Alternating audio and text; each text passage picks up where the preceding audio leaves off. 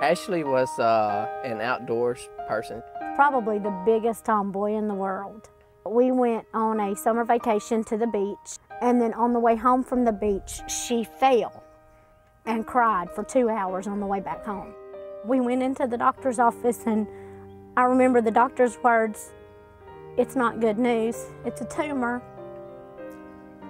And I called my mom, and I said, Mama, you need to pray like you've never prayed before because something bad is wrong.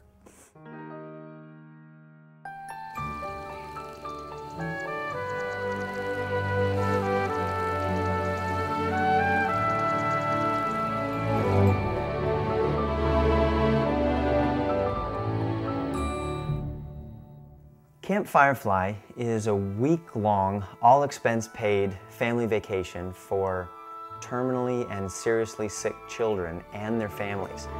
It is the most joyful and life-filled week mm -hmm. you'd ever want to spend.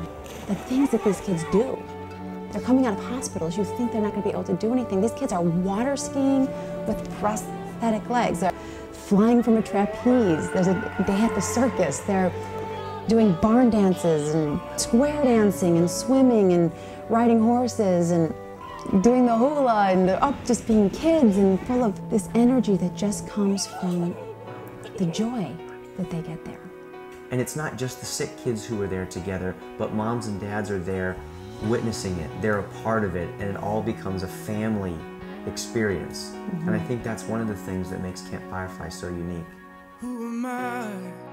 that the Lord of all the earth would care to know my name. We keep the camp very close to our family. Uh, we run the camp, we staff the camp, we take care of all of the organization and, administration. And we're looking for a group of people who can see the uniqueness of Camp Firefly and want to have something that they feel they can be very closely involved with when we look back on that week, it always brings a smile to our face. That and those happy memories overshadow the not so good times.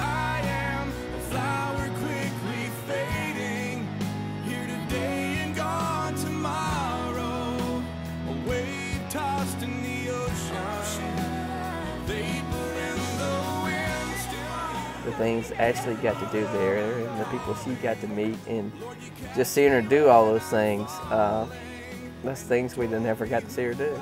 And uh, we wouldn't trade it for anything in the world. I am yours. I am yours.